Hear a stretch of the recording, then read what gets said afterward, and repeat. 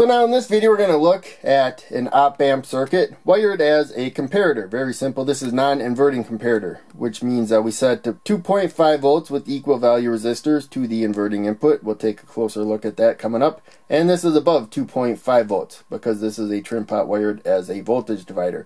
When we drop below about halfway, because then at that point there'll be equal resistance on each side, we drop below that, now there's less resistance on the uh, negative supply. The voltage dropped below 2.5 volts. And we have a low output. That's the way that we wired this up. So now we'll look at why closer to here. So here is the uh, pin layout for the op amp on the board there. You have to power it, positive supply, negative supply.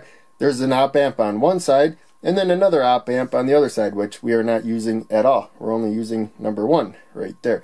So there's the uh, pin layout. That's pin 1 up there, down to 4. Then you jump across to 5 and work your way up to 8. I put the numbers that we're using there.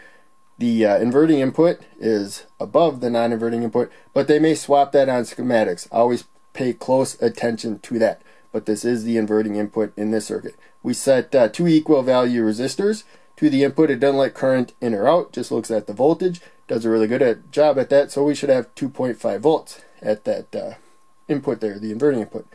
Now, when we have the uh, trim pot, which is going to the non-inverting input, at a uh, we started off with a higher voltage, closer to 5 volts than at 2.5 volts.